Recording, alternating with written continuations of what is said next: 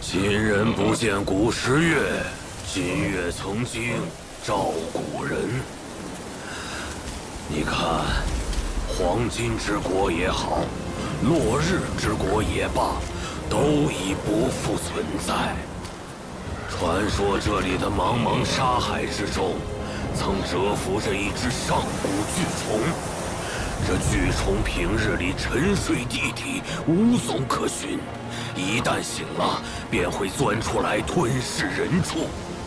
偏偏它外壳坚若磐石，寻常刀斧弓弩难以穿透，往来商旅不敢靠近，周边小国更是苦不堪言。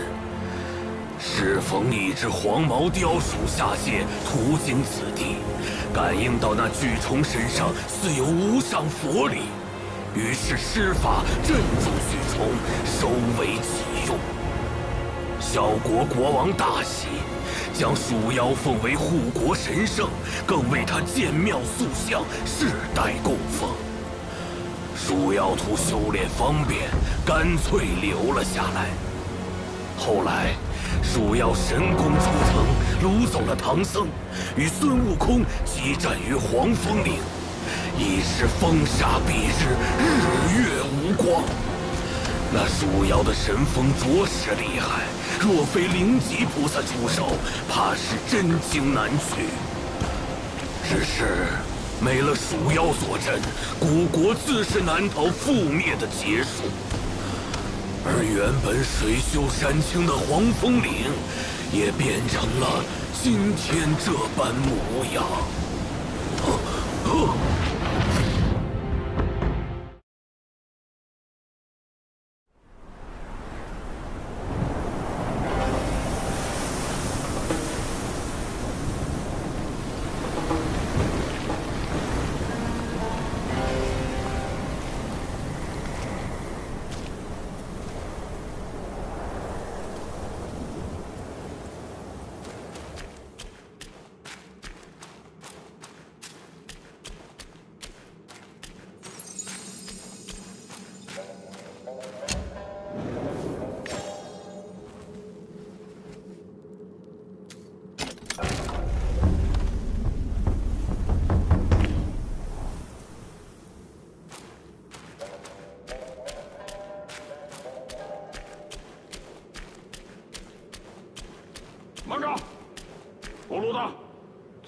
来回哪儿去，再往前，小命不保。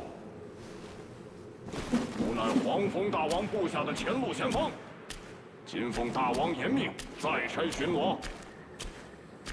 这沙海之中有只妖怪，祸害百姓，我家大王正要降服那妖怪，贩夫走卒，不得擅入。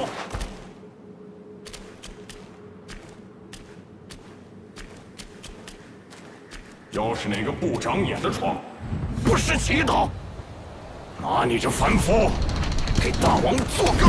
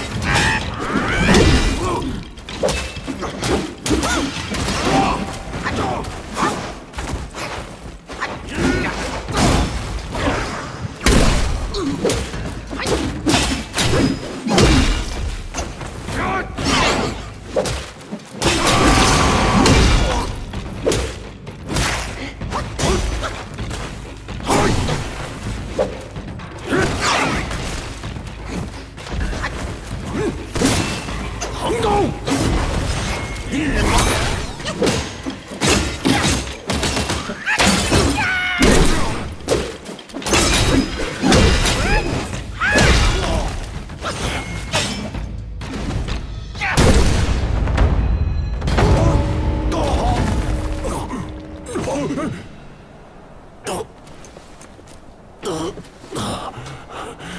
你这束棍真凶看来有大。神通，在下斗胆求高人出手，助我大王降妖。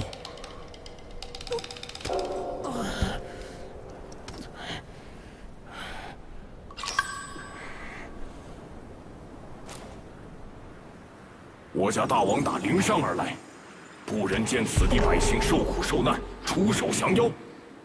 只是那妖怪道行不浅，你若肯施以援手，竟然事半功倍。